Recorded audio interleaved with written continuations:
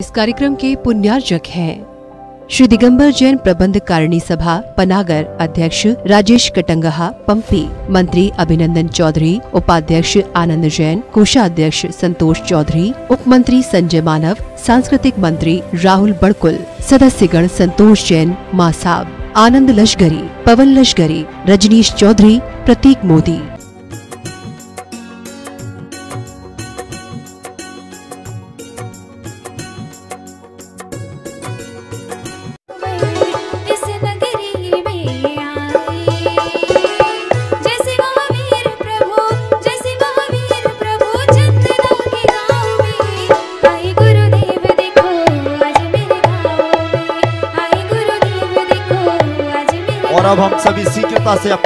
स्थानों की ओर आए। यह इस क्रम को हम यहाँ पर पूर्णता देते हैं। और वे मुनिराज सभी वर्तमान में ऐसे निर्यापक श्रमण प्रथम, ज्येष्ठ, श्रेष्ठ मुनिराज, परम पूज्य एक सौ आठ श्री समय सागर जी महामुनिराज के संग में सुशोभित हो रहे हैं अपनी उस तपश्चर्या का दिन, उस अपनी दिनचर्या को, उस संयम को अंगीकार करके उनकी चरण सन्निधि में बंडा क्षेत्र में चातुर्मास उनका अभिसानंद संपन्न हो रहा है और अभी जय बोलो ऐसे मुनिराज श्री निर्ग्रंथ सागर जी से लेकर निर्लेप सागर जी महामुनिराज की। और अब हम सभी मुनिश्री के मंगल श्री चरणों में यहाँ पर निवेदन करते हुए कि हे महाराज श्री, हे महाराज श्री, आपकी आज के इस पावन अवसर पर दिव्य देशना का हम सब श्रवण करें। नमोस्तु महाराज श्री, नमोस्तु महाराज श्री, नमोस्तु महाराज श्री।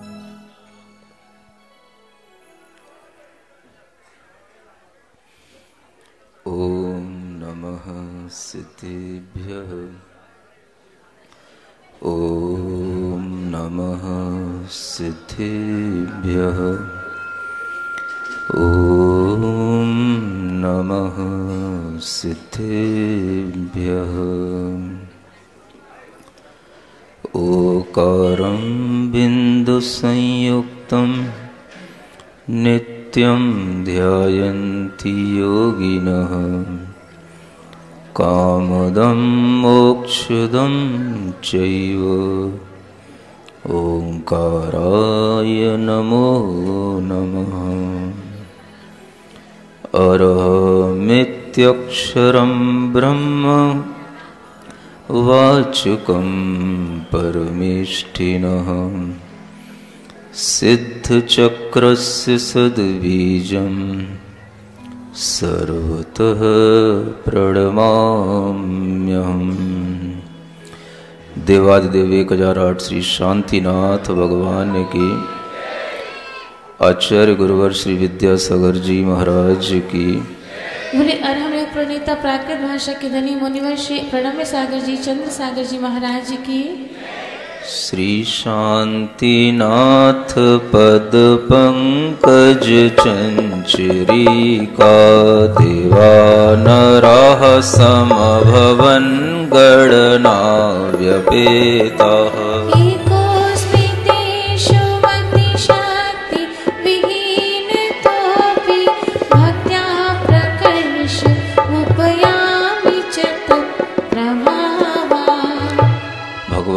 शांतिनाथ की स्तुति। निरंतर आगे बढ़ते बढ़ते अपने मंजिल के करीब है। आज भगवान की स्तुति पढ़ते हुए काव्य नंबर 111 से प्रारंभ करते हैं। सूक्ष्म और अवगाहन गुण से बाधित ना जो होते हैं।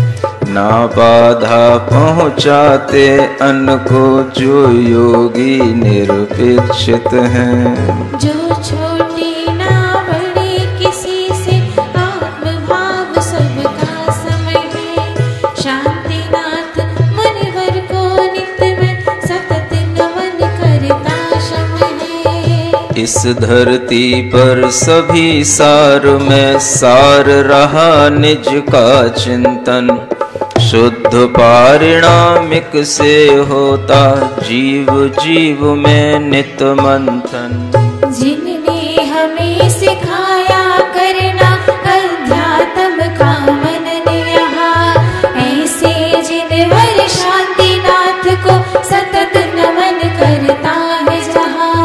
आत्म प्रदेशों में निबद्ध है अति गाढ़े निश्चेतन कर्म।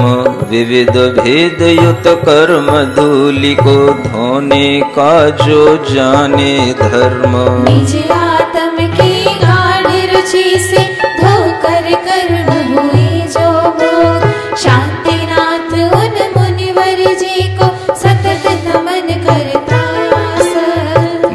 मूल और उत्तर कर्मों के कारण भूत बने जो भाव।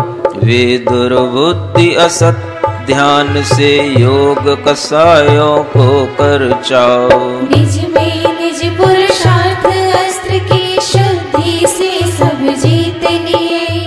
शांतिनाथ उन मुनिवर जी को सतत नमन मन प्रीत लिए।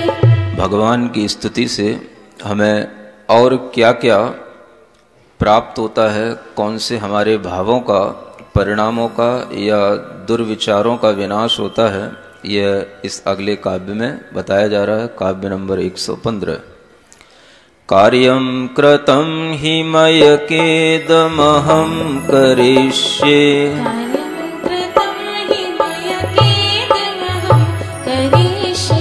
शक्तो न कोऽन्यजन एव मदान्धकारम्।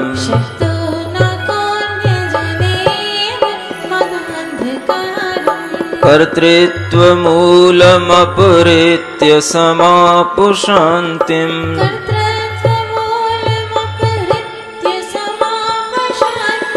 तं शान्तिनाथमुनिपं सततं नमामि।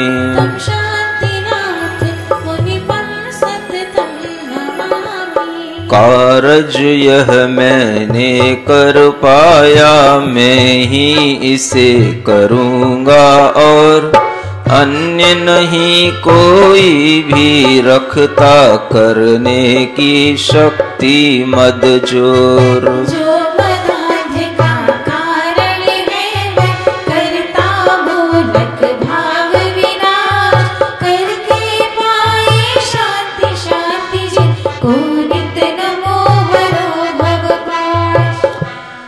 कर्तृत्व भावनाशक यह भगवान की स्तुति है। स्तुति तो क्या? भगवान की स्तुति करने से हमारे कौन कौन से भावों का विनाश होता है, यह प्रतिफल यहाँ बताया जा रहा है। हर व्यक्ति के अंदर एक कर्तृत्व भाव, कर्तृत्व शक्ति के माध्यम से बहुत बल जोरी के साथ रहता है। और इस कर्तृत्व शक्ति के कारण से ही हर आत्मा हर जीव कुछ ना कुछ करने की इच्छा करता है। वह कर्तृत्व बुद्धि के माध्यम से हर कार्य करता है और हर कार्य को करते हुए यह विचार करता है कि यह कार्य मैं ही कर सकता हूँ, यह कार्य मैं ही कर पाया, यह कार्य और कोई नहीं कर सकता। इस तरह का विचार जो कर्तृत्व बुद्धि के माध्यम से आता है यह अहम बुद्धि के कारण से उसके अंदर यह विचार उत्पन्न होता है।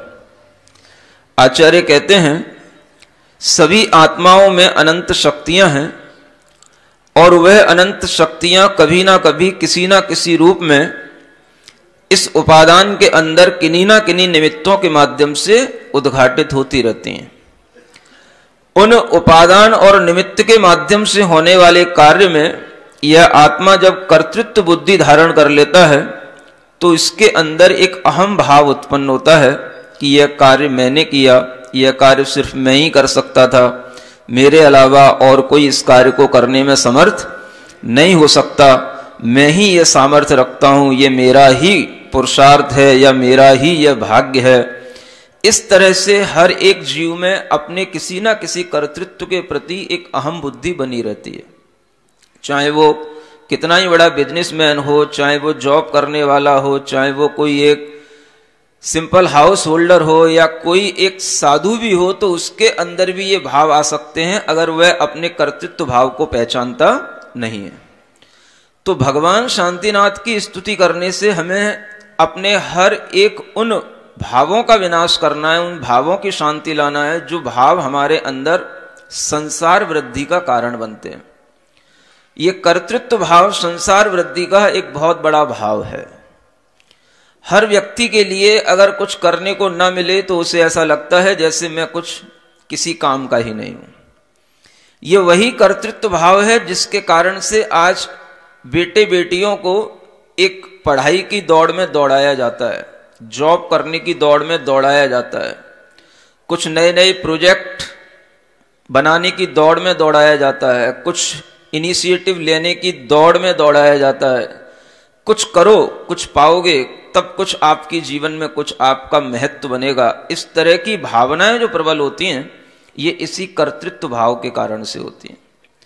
तो ये वह कर्तृत्व भाव है जिसके कारण से हर जीव, हर संसार का कोई ना कोई प्राणी अगर थोड़ा सा भी स्वस्थ है, जिसकी बुद्धि काम कर रही है, जो अपने हाथ पैरों से कुछ अच्छा कर सकता है तो वो चाहता है कि मैं कुछ ना कुछ ऐसा कर लूँ, जिस, जो दूसरा ना कर सके, या कुछ ऐसा कर लूँ जिसके कारण से हम बड़े निश्चिंत होकर के अपना जीवन जीते रहें। कभी आदमी मन की तृष्णा की पूर्ति करने के लिए भी बहुत कुछ करता रहता है, और कभी आदमी कुछ योग्यता हासिल करके भी कुछ अच्छे कार्य भी कर लेता है, जो समाज के लिए, दूसरे लोगों के हित के लिए कभी काम में आने वाले होते हैं, ऐसे भी काम कर लेता है। सब मिलाकर के कर्तृत्व बुद्धि, उसे कहा जाता है, जब हमारी आत्मा में ये भाव आ जाए कि ये कार्य हमको ही करना है, हमको ही करना है, हमारे अलावा कोई नहीं कर सकता है, और उस कर्तापन का भाव उसके अंदर इतना दृढ़ हो जाए कि वह उस कर्तापन के साथ साथ अपने अंदर एक स्वामित्व का भाव भी ले आए कि मैं ही इस कार्य का स्वामी हूँ। ये तीन चीज़ें एक साथ चलती हैं, कर्ता, भोक्ता और स्वामीपना। यहाँ आपके सामने कहा जा रहा है कि यह कार्य मैंने किया, मैं इसे करूँगा, इस तरह की जो फ़िक्र में भी पड़ा रहता है, वो निरंतर अपनी कर्तृत्व शक्ति का प्रयोग करता रहता है। यह कर्तृत्व शक्ति आत्मा की शक्ति है। अब ये शक्ति तो शक्ति होती है, उस शक्ति का उपयोग आपको किधर करना है? ये आपकी अपनी बुद्धि पर डिपेंड करता है। उस कर्तृत्व शक्ति का उपयोग आप संसार के अनेक कामों को करने में भी लगा सकते हैं और उस कर्तृत्व शक्ति से आप अपने कर्मों की निर्जरा, आप अपनी आत्मा का शुद्धिकरण, आप अपनी आत्मा के अंदर कर्मों का क्षय करने में भी उस शक्ति का प्रयोग कर सकते हैं। हमें क्या करना? ये हमारे ऊपर डिपेंड करता है। तो ज़्यादातर संसार का प्राणी जब भी कभी अपनी एक उम्र में आता है तो उस उम्र में उससे वह कर्तृत्व शक्ति उसकी बढ़ती चली जाती है। आप देखें, जैसे ही बेटा या बेटी बड़े हो जाते हैं तो बड़े होने के बाद में उनके लिए सामने अगर कुछ कर्तृत्व होता है तो क्या होता है? हमें विवाह करना है। विवाह करने से ही समझ में आता है कि हमारा जीवन अब सेटल हो जाएगा। अगर विवाह नहीं हुआ तो फिर ऐसा लगता है कि जैसे अब हमारे लिए जीवन में कुछ आगे होगा ही नहीं।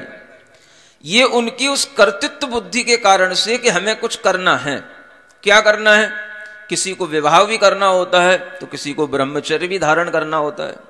ये डिपेंड करता है कि हम क्या चॉइस कर रहे हैं।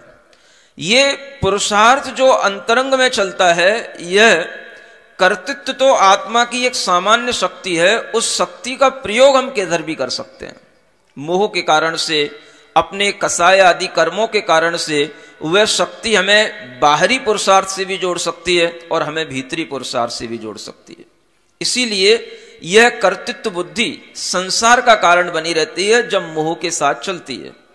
तो यहाँ पर भगवान शांतिनाथ की स्तुति करते हुए कहा जा रहा है कि, हे भगवान हमने अपने जन्मों में और इस जन्म में भी कई ऐसे कार्य किए और मैं करना चाहता हूँ ये सोच करके कि हमारे अंदर ये कर्तृत्व शक्ति है और इसके कारण से जब ये मद बढ़ जाता है तो उस मदांधता के कारण से हमारे उस कर्तृत्व भाव का कभी भी विनाश नहीं हो पाता। और वह विनाश, है भगवान, आपकी स्तुति से ही संभव है, क्योंकि आपने सब प्रकार का, लोक का कर्तृत्व बाहरी कर्तृत्व सब आप छोड़ करके, बस आप केवल निज आत्मा के भावों के कर्ता बने, इसके अलावा आपके अंदर और कोई कर्तापन नहीं आया। ये कर्तापन एक बहुत बड़ी चीज़ होती है। आदमी कभी भी किसी भी कार्य के लिए निमित्त होता है, लेकिन वह यह सोचता है कि मैं इस कार्य का करता हूँ। करता तो कभी किसी कार्य के आप हो ही नहीं सकते अगर कोई कुम्हार घड़ा बनाता है तो वह कुम्हार भी ये सोच लेता है, घड़ा मैंने बनाया है। आचार्य कहते हैं, घड़ा कभी कुमार बना नहीं सकता है। घड़ा जो बनता है, वो उसकी अपनी उपादान शक्ति से बनता है। अगर मिट्टी होगी, मिट्टी वह घड़े के रूप में ढलने लायक होगी तो ही कुम्हार उसमें हाथ लगा पाएगा। कुमार का एक हाथ का सपोर्ट देना कुमार का उस आकृति में उसको बना देना वह ये नहीं समझ पाता कि हमारे हाथ का सपोर्ट तो एक छोटा सा उसका पार्ट है, बहुत बड़ा पार्ट तो उस मिट्टी का है, जो मिट्टी अपने आप में मूक है, इसलिए उसको मूक माटी कहा गया। गुरुदेव ने मूक माटी नाम का महाकाव्य रचा, और वह मूक माटी होते हुए भी वो कभी अपने कर्तृत्व को नहीं बखानती है। कि देखो, घड़ा किससे बना? कोयले से तो नहीं बन जाएगा, लकड़ी से तो नहीं बन जाएगा इस चटाई से तो नहीं बन जाएगा, कागज़ से तो नहीं बन जाएगा। वो बनेगा किससे? मिट्टी से। जो मिट्टी द्रव्य है, वो उसकी उपादान शक्ति है। वो उस रूप में ढलने की क्षमता रखने वाली मिट्टी होगी तो वो ढलेगी।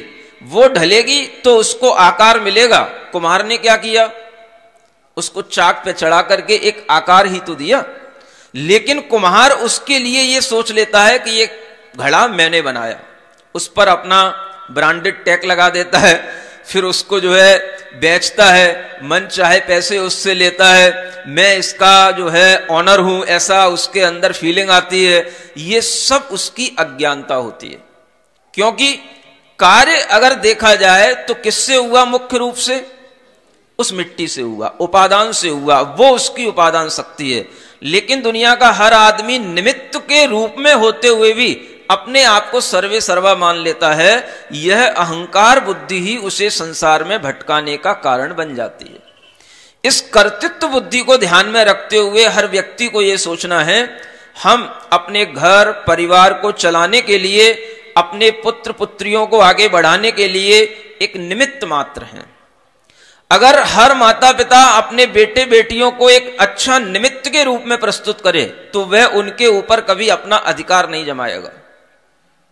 जब कर्तृत्व भाव चरम पर होता है, तब स्वामित्व की बुद्धि आती है। जब स्वामित्व की बुद्धि आती है तो वह भोक्ता बनता है।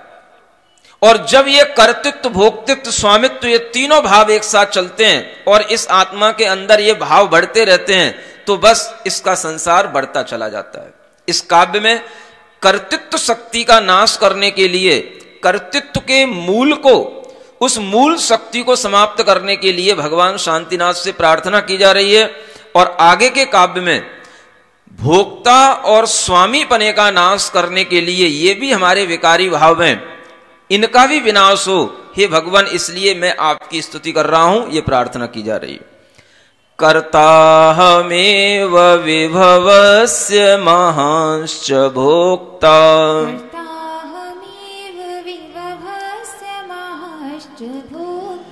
स्वामीति संसृति विवृद्धि विमोहेतून्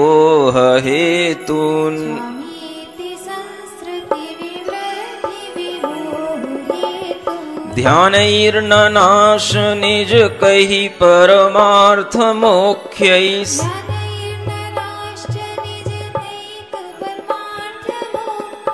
तं शान्तिनाथ मुनिपं सततं नमामि।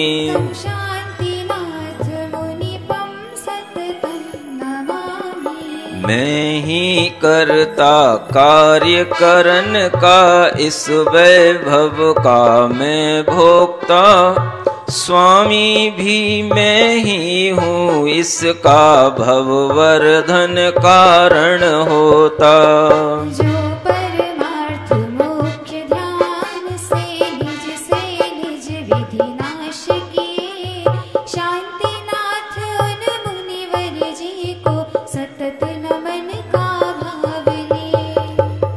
मैं करता हूँ, मैं ही भोगता हूँ और मैं ही स्वामी हूँ। ये तीन भाव हर आत्मा में चला करते हैं। अगर आप पर पदार्थों का अपने आप को कर्ता मानेंगे तो आप उसे भोगने की कोशिश करेंगे। वो आपके लिए भोक्ता वस्तु बन जाती है। और जो चीज़ हमारे लिए भोक्ता बन जाती है, उस पर हमारा स्वामित्व बन जाता है। ये हमारी है, इसलिए हम उसके स्वामी बन जाते हैं। ये कर्ता, भोक्ता और स्वामीपन का भाव आध्यात्मिक रूप से विकारी भाव कहलाता है। सांसारिक जीवों के लिए लौकिक दृष्टि से भाव अच्छे माने जाते हैं।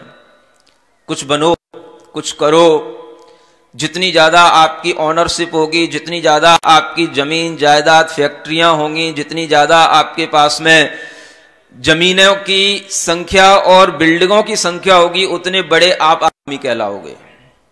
लौकिक दृष्टि से।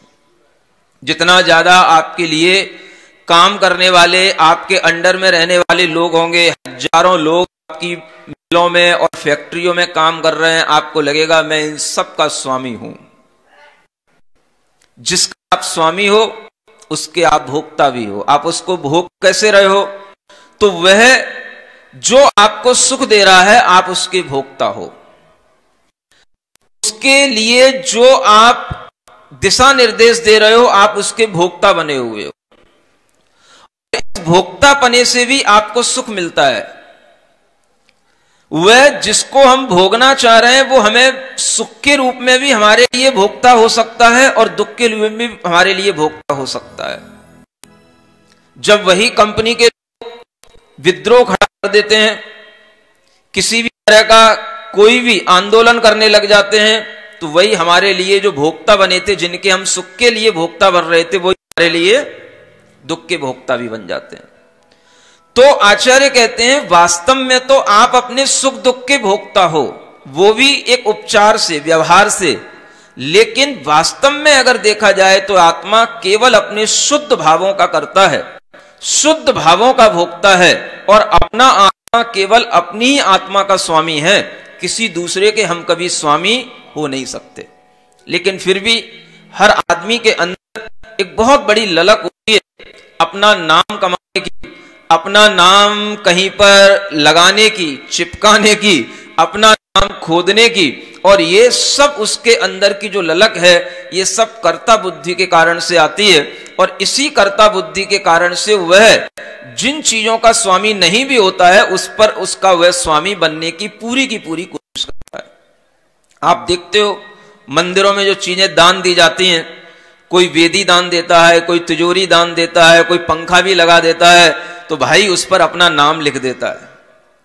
जब जब तिजोरी पे कोई पैसा डालने जाए, कोई गुल्लक पैसा डालने जाए तो दिखे भाई ये कौन से सेठ ने दी थी। जब जब पंखा घूमे तो उसका नाम भी घूमे उसके साथ में। बड़े बड़े शिलालेख जब कोई काम होता है, लाए जाते हैं, लेकिन इन सब चीज़ों की ड्यूरेशन कितनी रहती है? कोई पंखा कितने साल तक चलेगा? कोई लगा हुआ पत्थर कितने वर्षों तक चलेगा? हर चीज़ अपने 10-20 साल के बाद अपना अस्तित्व खो देती है। लेकिन आदमी के अंदर वह मोह का भाव उससे इतना चिपकता है कि वह सोचता है कि अगर ये पत्थर यहाँ लग गया तो मैं अमर हो गया। ऐसा सोचता है। हमने कुछ दिया और उसका नाम तो हमारे का कोई मतलब दे भी रहा है और जब तक वह चीज़ है तब तक उसका वह नाम को नाम देखना चाहता है। उसके नाम साथ कोई कर दे, आंदोलन चली जाएगी। नाम उसका बना रहना चाहिए। यहाँ तक कि कि आदमी वेदी दान करता है, भगवान के लिए वेदी पर बिठा देता है, फिर भी वेदियाँ अगर कभी बिगड़ती हैं, मिटती हैं तो सामने खड़ा हो जाता है, ये वेदी मेरे पुरखों ने बनाई थी, आप कौन होते हैं इसको हटाने वाले? हर चीज़ 10 साल के बाद 20 साल के बाद में बदल जाती है। 20 साल में तो हर किसी की ऑनरशिप भी बदल जाती है। अगर आप कहीं किराए पर रह रहे हो 20 साल के बाद आप उसके मालिक भी हो जाओगे। लेकिन मंदिर में दान देने वाला आदमी तो बस उसे भले ही मंदिर नहीं आना हो, लेकिन अगर उसे पता पड़ जाए कि इस मंदिर की वेदी हटाई जा रही है और ये हमारे पुरखों ने बनाई थी, हमारे दादा के दादा ने बनाई थी तो आगे लड़के लड़ने के लिए सामने खड़ा हो जाएगा। इतना आदमी के अंदर स्वामित्व का भाव तीव्रता से पड़ा होता है। इसलिए यह स्वामी पने का भाव, भोक्ता पने का भाव तब तक चलता रहता है जब तक कि हमारा अंदर का मोह भाव परिणति से हमें जोड़े रहता है।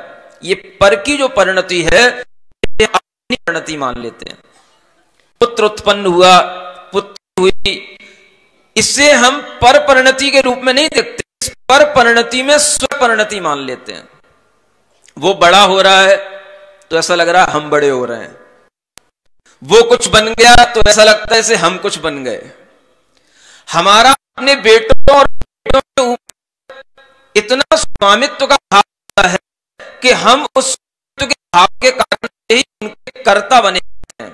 हम कि हम उनके लिए एक निमित्त मात्र हैं। अपने लिए किया फलस्वरूप से लेकिन जब किसी के लिए कोई बेटा बेटी हो जाता है वह उसको अपना कर्ता मान के चलते हैं, मैंने किया। ये किसकी कृति है? लो, किसकी कृति है? ये मेरी कृति है। मेरी कृति होगी मैं उसको भोगूँगा। भोगने का मतलब उसके माध्यम से मिलने वाला सुख है भोगना चाहता हूँ, इसलिए रखना हूँ। हिसाब से बनाना चाहता हूँ और जिस वह चीज़ हमारे अंडर में होती है, इसलिए हम उसके स्वामी कहलाते हैं तो बेटियों का कर्म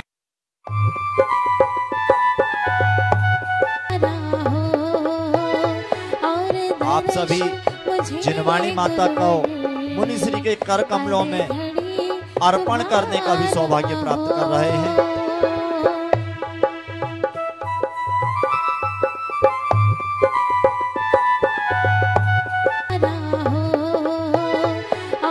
आप सभी जिनवाणी माता को मुनिश्री के कर कमलों में अर्पण करने का भी सौभाग्य प्राप्त कर रहे हैं।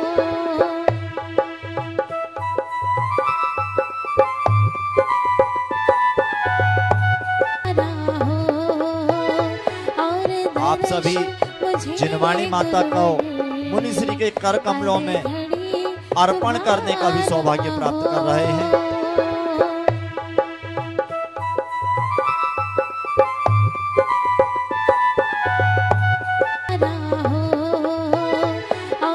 आप सभी जिनवाणी माता को मुनिश्री के कर कमलों में अर्पण करने का भी सौभाग्य प्राप्त कर रहे हैं।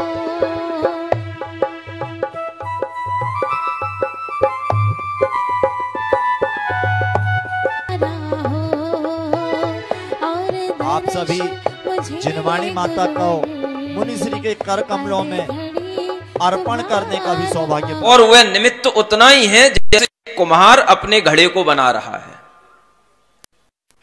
ऐसा लगाओगे, वैसा बन जाएगा।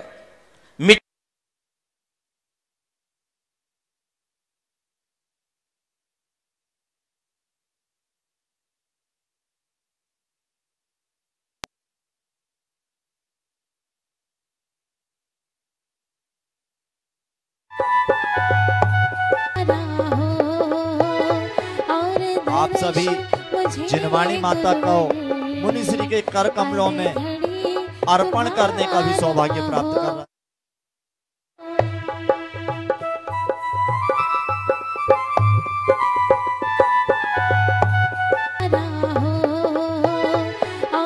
आप सभी जिनवा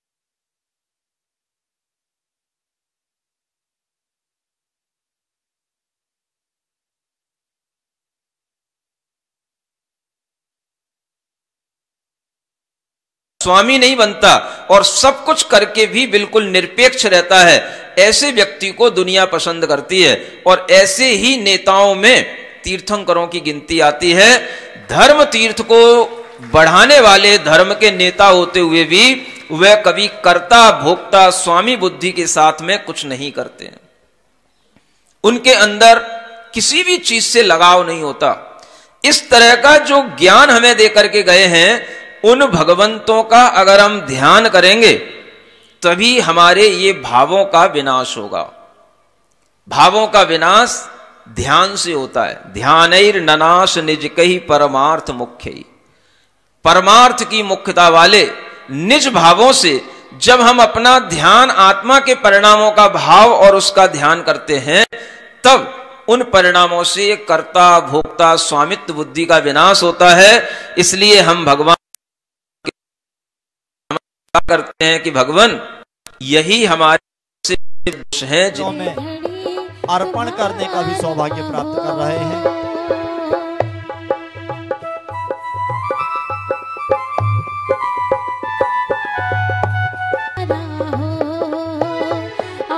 आप सभी जिनवाणी माता को मुनि श्री के कर कमलों में अर्पण करने का भी सौभाग्य प्राप्त कर रहे हैं।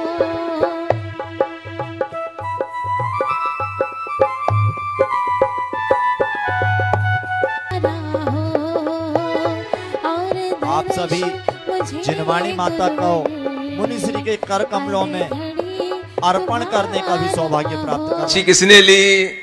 हमने ली। जो भोजन आप बना रहे हो, उसके भी आप कर्ता बन जाते हो। मुनि महाराज, अगर आपके घर में आ जाएँ, आपने निरंतर आहार करा दिया तो उसके भी आप कर्ता बन जाते हो। हर चीज़ के हम कर्ता बने रहते हैं। चातुर्मास हो गया, किसने कराया? बोलो। कमेटी ने? सब कोई पनागर वालों ने। तो कर्तापन का भाव या तो हम नगर के ऊपर डाल देंगे कमेटी के ऊपर डाल देंगे लेकिन कर्तापन के भाव में मज़ा तो आता है। नहीं समझ में आया? हाँ। बिना उसके तो फिर ऐसे तो हर चीज़ बहती रहेगी कोई भी चीज़ कहीं भी हो जाएगी कोई भी चीज़ किसी के लिए अगर ज़िम्मेदारी से नहीं होगी तो, तो कोई व्यवस्था ही नहीं बनेगी। तो व्यवस्था तो बन जाए, लेकिन उस व्यवस्था में मद ना आए। अहम बुद्धि इतनी ना आए कि हम वास्तविक स्वरूप को ही भूल जाएँ तो वह व्यवस्था भीतर की अच्छी बनी रहती है। इसलिए अंत अंत में ये आध्यात्मिक भाव भी आपके लिए दिए जा रहे हैं। और उसके साथ साथ देखो क्या होता है।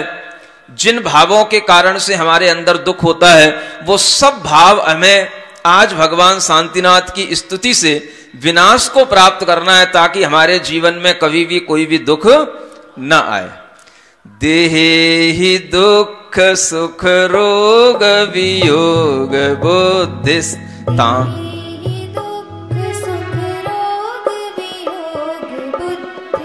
ताम्राग मोह जनिताम मनुते स्वकीयाम।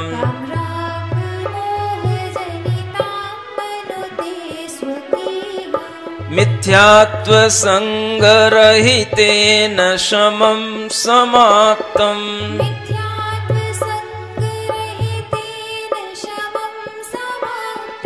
तं शान्तिनाथमुनिपं सततं नमामि।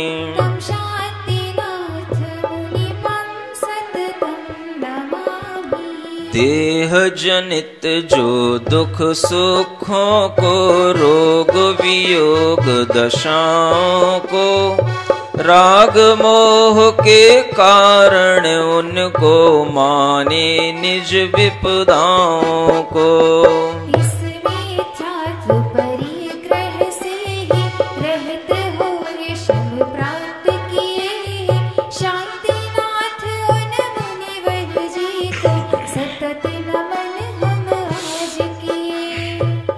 देह जनित जो दुख सुखों को, रोग वियोग दशाओं को, राग मोह के कारण उनको माने निज विपदाओं को। ये वो भाव है जिसके कारण से ही हम अपने दुख सुख के भी भोक्ता बन जाते हैं, कर्ता बन जाते हैं और स्वामी बन जाते हैं। हम दूसरे की क्या बात करें? कंपनियाँ हैं, फैक्ट्रियाँ हैं पोते पोतियाँ हैं बेटे बेटियाँ हैं, घर है, मकान है, ये तो बहुत अलग से पृथक दिखने वाली चीज़ हो गई। लेकिन जो शरीर हमारे साथ लगा हुआ है, जो शरीर हमारा अपना, हम जिसे कहते हैं, उस शरीर में भी अनेक तरह के दुख सुख होते रहते हैं। उस शरीर में भी रोग, अनेक तरह की कभी रोगों के माध्यम से दुख होता है तो कभी निरोगता से सुख मिलता है। वह रोग और निरोग का सुख या दुख भी हमारे लिए। जब ऐसा लगता है कि ये मेरा है तो ये भी हमारा एक बहुत बड़ा मिथ्या भाव होता है। इस मिथ्या भाव के कारण से शरीर को अपना माना जाता है और शरीर में होने वाले सुख दुखों को अपना माना जाता है। हम भूल जाते हैं कि मैं क्या था। हम केवल यही समझते हैं कि अगर शरीर में रोग हुआ तो मैं रोगी हो गया, शरीर दुखी हुआ तो मैं दुखी हो गया, शरीर में कोई तरह का निरोगता आई तो मैं सुखी हो गया, लेकिन वो मैं कौन था, वो कभी किसी को ज्ञात नहीं रहता। आचार्य कहते हैं, जब तक मैं, हम अपने आप को मैं, आत्मा अपने आप को शरीर रूप मानता है। शरीर के सुख दुख से ही अपने आप का सुख दुख का आकलन करता है। उस आत्मा को बहिरात्मा कहा जाता है। क्या बोलते हैं? बहिरात्मा। जब वह आत्मा शरीर से परे सुख दुखों को, अपने आत्मा के कर्म के फल से भी होने वाले सुख दुखों को अपना नहीं मानता तब उस आत्मा को अंतरात्मा कहा जाता है। क्या कहते हैं? अंतरात्मा। आत्मा अपनी आत्मा में रहे, कर्म के फल से भी मिलने वाले सुख दुख हैं, देह से मिलने वाले सुख दुख हैं, ये भी उसके अपने नहीं हैं। और ये अगर अपने बने रहते हैं, ये जब तक अपने रहते हैं, तब तक वह बहिरात्मा कहलाता है और बहिरात्मा धर्मात्मा होता ही नहीं है। अध्यात्म की दृष्टि से। क्या समझ रहे हो? हाँ। हम पूजा कर रहे हैं, हम खूब दान दे रहे हैं, हम खूब मंदिर बना रहे हैं, लेकिन बहिरात्म बुद्धि तो नहीं छूट रही। जब तक अंतर आत्म बुद्धि नहीं आती, तब तक यह धर्म भीतर से सम्यक्त के रूप में आता ही नहीं। और यही अंतर आत्म बुद्धि उसे यह बताती है कि मैं आत्मा हूँ तो कैसा? आचार्य कहते हैं तुम जैसे शरीर में पहुँच गए, अपने आप को वैसे मानने लग गए। नारकी बने तो अपने आप को नारकी मान लिया। मनुष्य बने तो मनुष्य मान लिया। लड़की बने तो लड़की मान लिया। लड़का बने तो लड़का मान लिया। ये लड़का लड़की भी मानते रहना, ये भी बहिरात्म बुद्धि है। आत्मा तो इन पर्यायों से, इन शरीरों की स्थितियों से बहुत ऊपर होता है। और जब तक आप अपनी आत्मा को आत्मा नहीं मानोगे, तब तक आपकी ये पर्याय बुद्धि यही मिथ्यात्व कहलाता है। और ये मिथ्यात्व जब तक रहता है, तब तक भीतर से शांति, आत्मिक शांति आती ही नहीं। ये बुद्धि छूटे तो कैसे छूटे? तो आचार्य कहते हैं, एक विचार अपनी आत्मा का अपने अंदर सदैव रखो। अनंतानंत धी शक्ति स्व संवेद्यो अचल स्थिति। मैं कैसा हूँ? मैं अनंत अनंत ज्ञान, अनंत अनंत शक्ति को धारण करने वाला, अनंतानंत धी शक्ति वाला मैं चैतन्य आत्मा हूँ। मेरी स्थिति अचल है।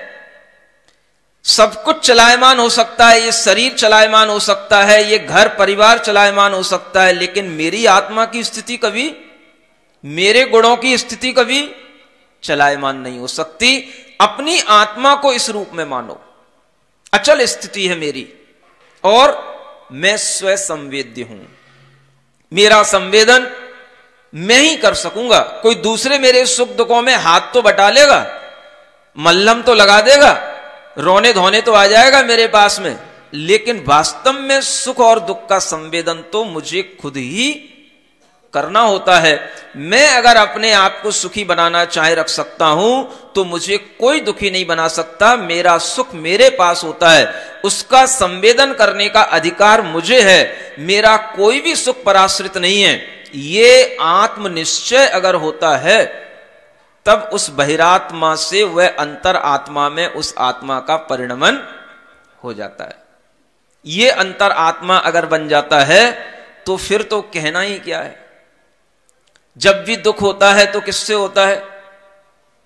पर परिणति को स्व परिणति मानने से होता है।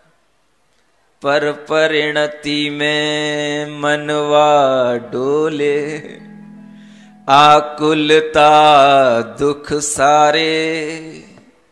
जब तक पर परिणति में मनवा डोलेगा, क्या रहेगी? आकुलता।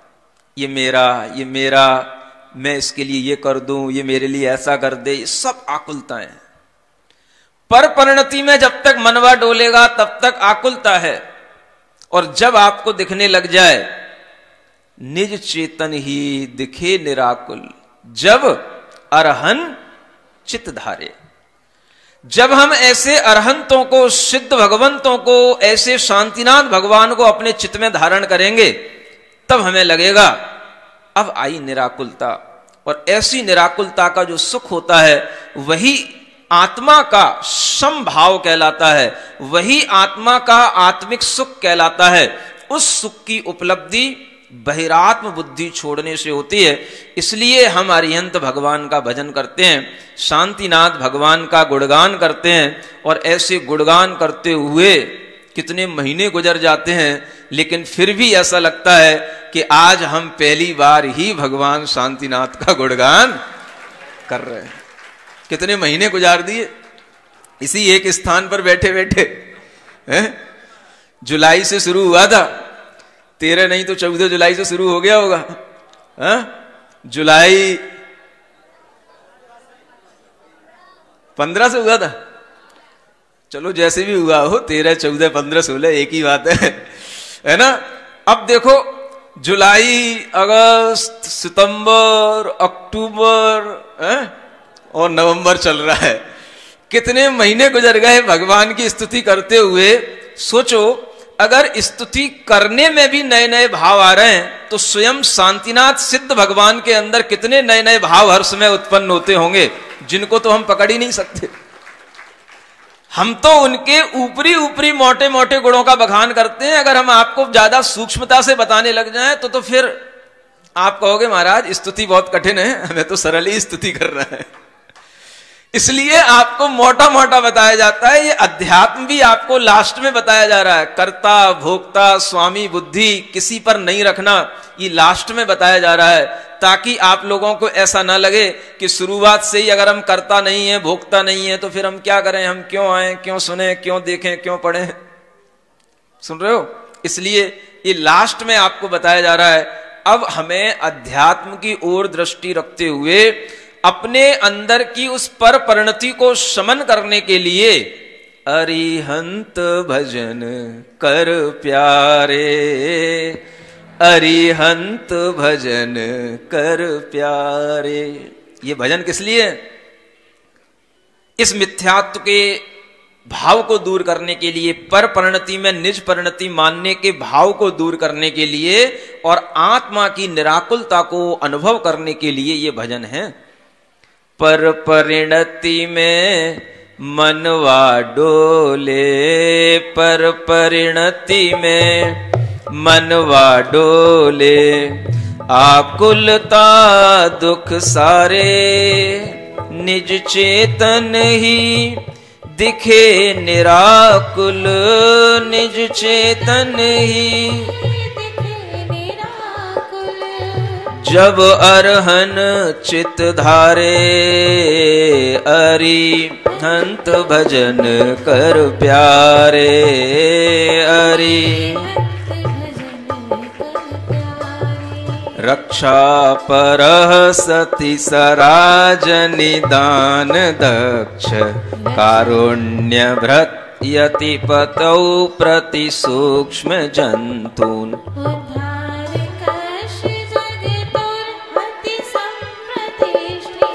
तं शान्तिनाथमुनिपं सततं नमामि तं शान्तिनाथमुनिपम् राजा होने पर समाज की रक्षा में नित दान कुशल, यतिपति होने पर करुणा की सूक्ष्म जंतु जो हैं दुर्बल।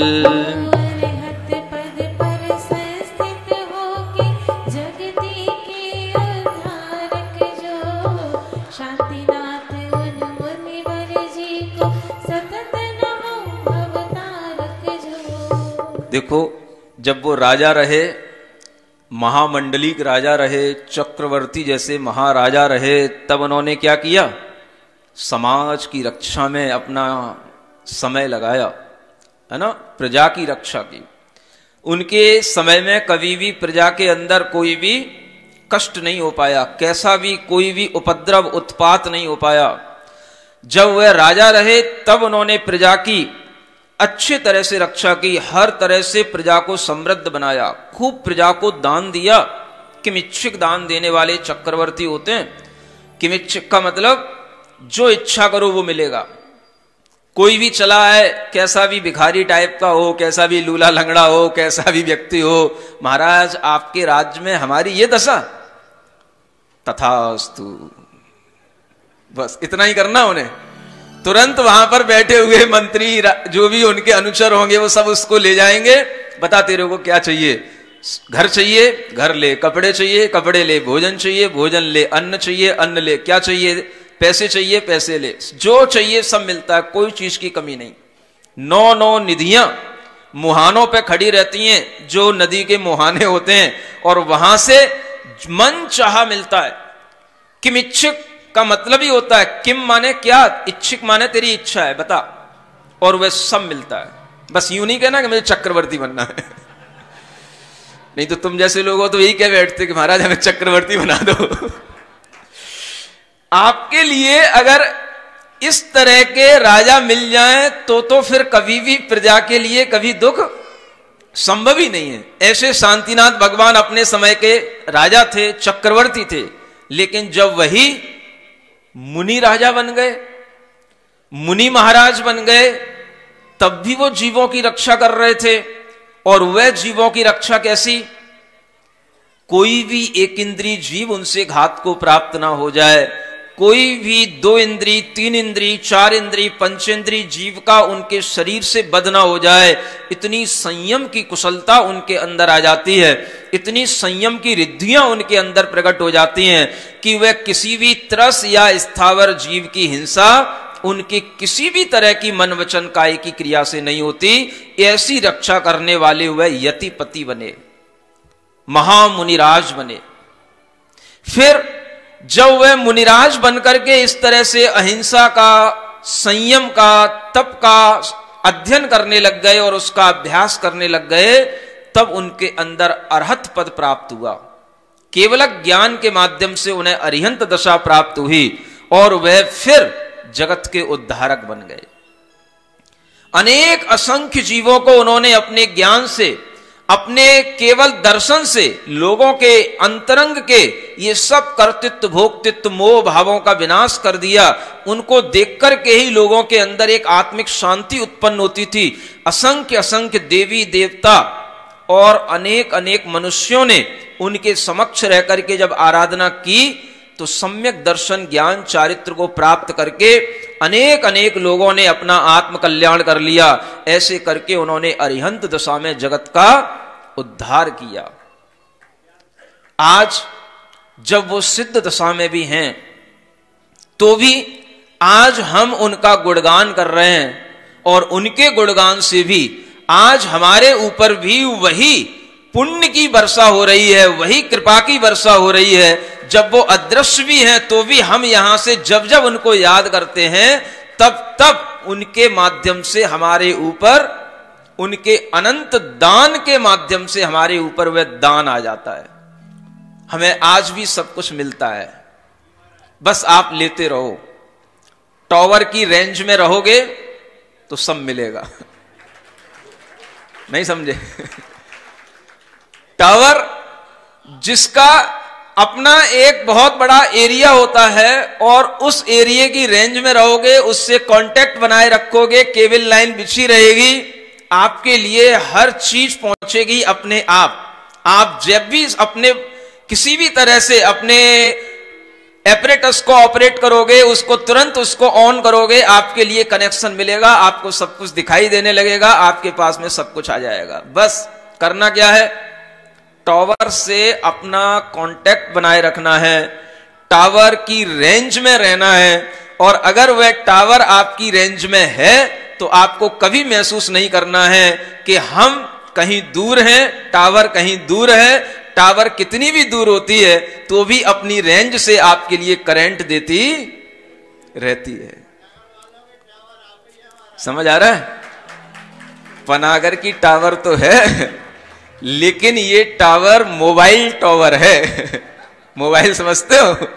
एक आपके हाथ में मोबाइल होते हैं और एक ये मोबाइल टावर होती है। मोबाइल का मतलब गतिशील।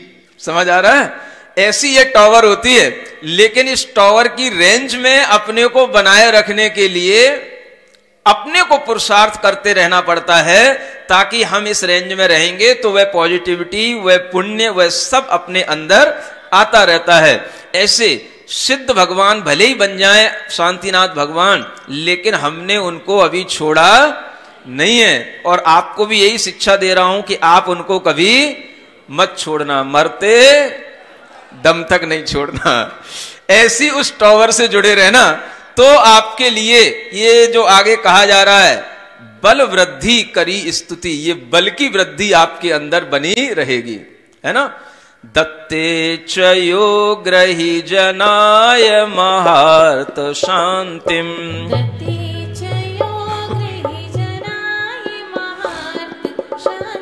संसेविते मुनि जनाय निजात्म शांतिम।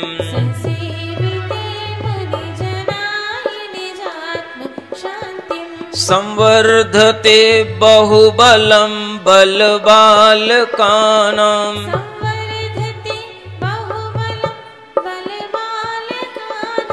तं शान्तिनाथमुनिपं सततं नमामि।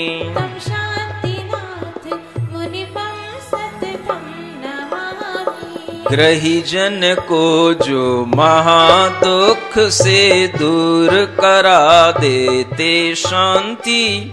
मुनिजन से सेवित होने पर उनको दे निज की शांति।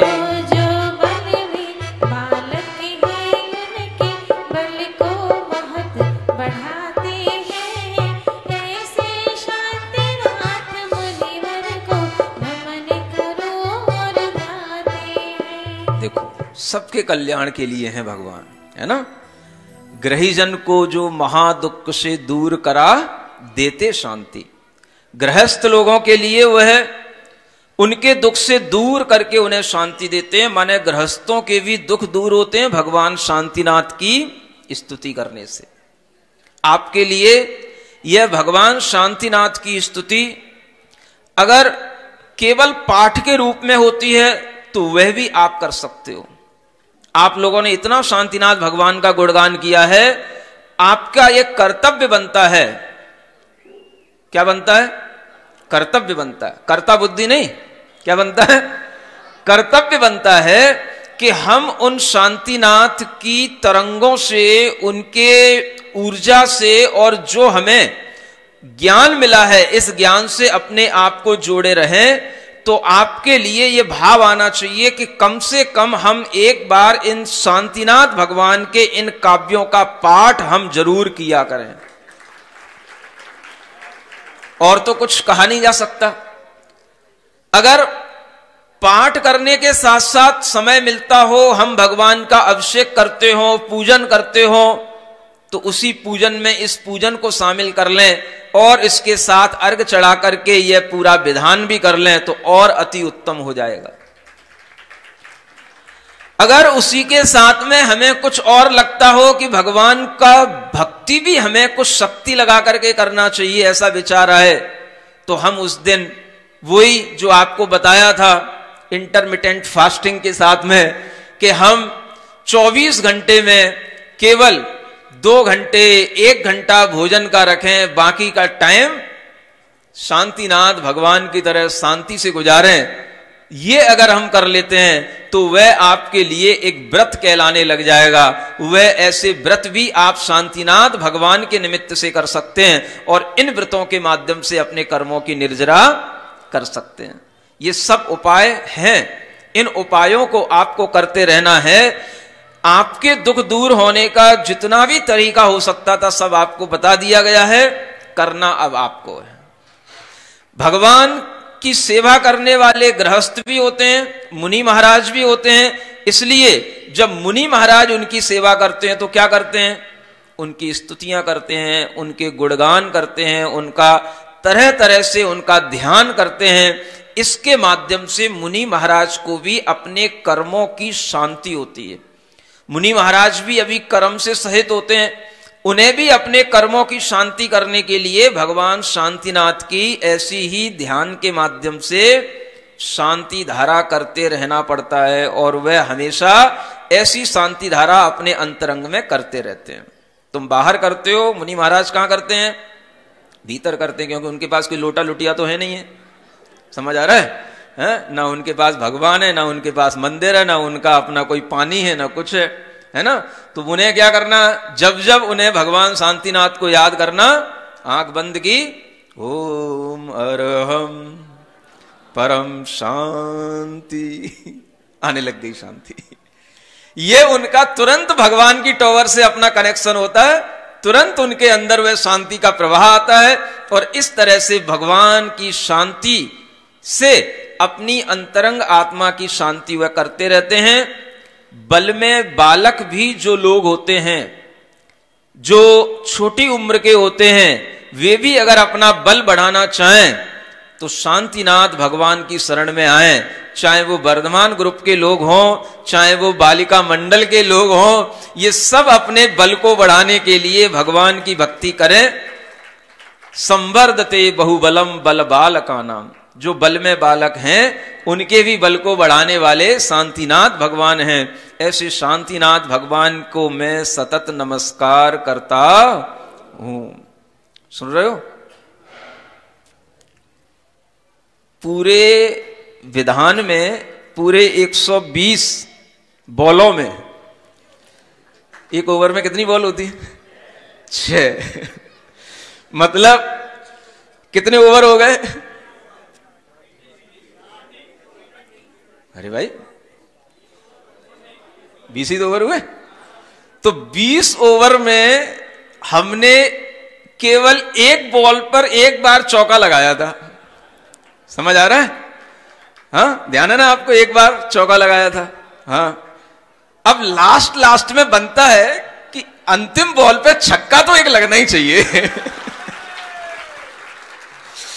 समझ आ रहा है? इसलिए ये आज छक्का लगने वाला तो लग ही गया, यू समझ लो। भगवान शांतिनाथ की यह स्तुति करते हुए आपने पूरे 20 ओवर खेले हैं, है ना? और हमने आपको पूरा खिलाया है। कोई कोई से किसी कोई कोई कोई बॉल मिस हो गई हो, कोई ना खेल पाया हो तो आपके पास में सब रिकॉर्डेड है, उससे खेल लेना। लेकिन आप लोगों ने जो भरपूर मन के साथ में, अपने भावों के साथ में खेला है, ये वो खेल है जो बड़े भाग्यवान लोग इस खेल को खेल पाते हैं, वो खेल आपको खिलाया है।